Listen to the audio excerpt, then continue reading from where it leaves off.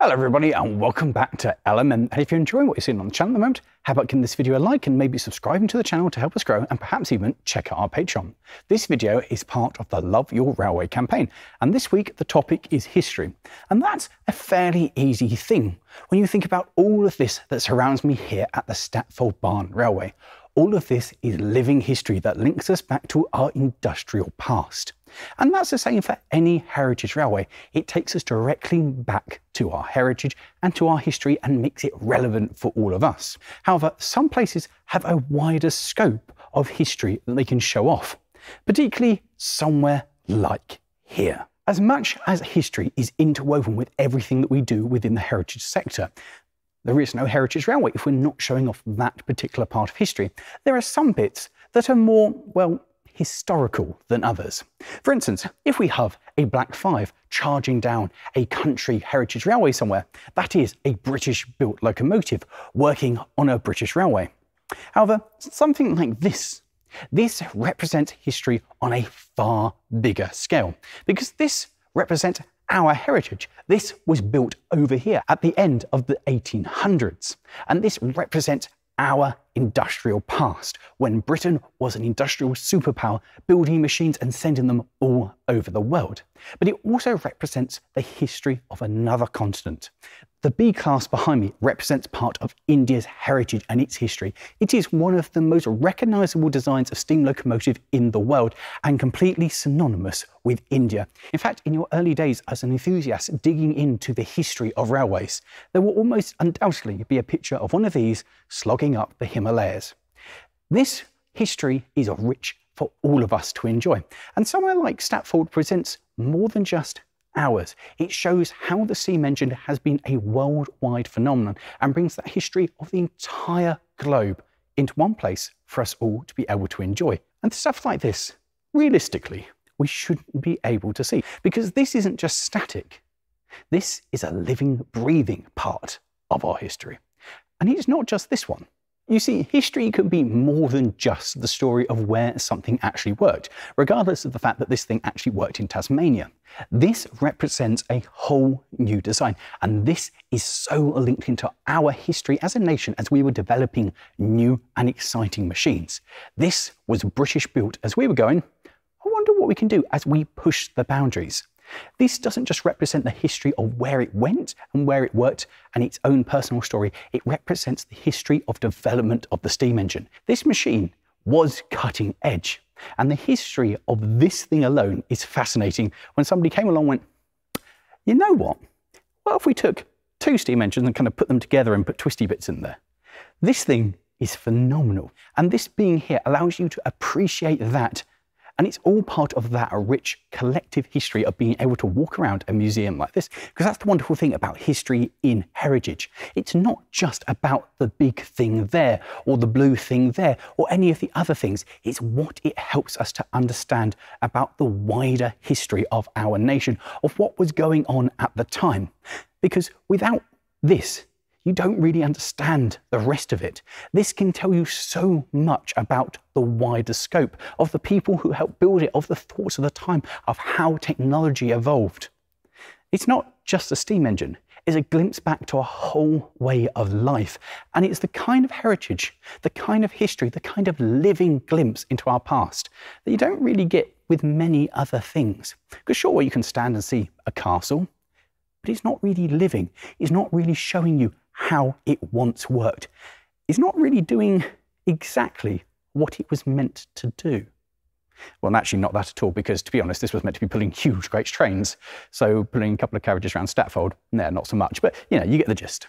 The exciting thing about a place like this is it showcases more than just our own history. Behind me are a pair of German built locomotives, so we get a snapshot into the history of Germany and their designs, and we see the way that they built locomotives and can compare the differences and the different schools of thought. A museum like this isn't just a snapshot into our past, but it's much more global. It's an amazing thing to be able to see so many different schools of thought, so many different cultures, and the way that it all comes together in the way of a steam engine, and how we today can be an enthusiast and appreciate that in the same way as we appreciate, say, that one or that one or anything else in here. We can appreciate the steam engine no matter where it's from. And while some people may be like, I prefer British built locomotives, there is a certain amount of appreciation for those developed elsewhere. And for a place like Statfold, it gives us this snapshot of development of the whole world, how we were going about making locomotives. This shows more than just them. That's a whole way of life. That's a completely different school of thought. The history connected to that and its heritage is totally unique to that engine. And the one next door to it has its own history and its own heritage. But that's something completely different from another part of the world. Bringing them here to play their part in that development of the steam engine, that story, that history, is nothing short of wonderful because the history here is so rich. There's so much of it. And when you start digging and looking into the past, the stories that you can get from this stuff is just absolutely marvelous. And the best thing about it is that we're still kind of making it because this isn't the past. This isn't stuff that's dead and buried. The majority of the stuff in here is living and working. It really is living history. And as well as the worldwide history that we can represent with a collection like this, we can also talk about the history of a particular area. Here, surrounding me, we have some of the Penrhyn locomotives. These things worked together in their working life. And there's something particularly special about being able to bring them back together and have them in retirement side by side. To think that these would have shared a shed and seen each other on a daily basis. So having them all together again is nothing short of magical. And whilst a collection like this helps tell a collective part of our history, there are some more personal parts, particularly this one here. This is GP39, otherwise known as Bronllwyd, and this is an important part of my personal history. In fact, this one has an awful lot to answer for, because this is the first steam locomotive I ever drove. And this one infected me very strongly with the bug. And without this, I wouldn't be doing this and you wouldn't be watching this video. So this thing has got hell of a lot to answer for. And that's particularly exciting when I can come to a museum to see a collection and see part of my own personal history reflected there for others to enjoy and to see. Now, obviously, its effect on me isn't an important part of this thing's history, apart from the fact it was used to build a road, and that's not normally what steam engines are built for. But that's the wonderful thing about all of them. They've all got these funny little quirks to their history, their own little stories. It's more than just a machine. It's got a personality, it's got a timeline, and it's got development and people behind it all the way. The railway fraternity is incredible. It ties us all together and it links all our collective histories from now all the way back to those who operated it to those who built them.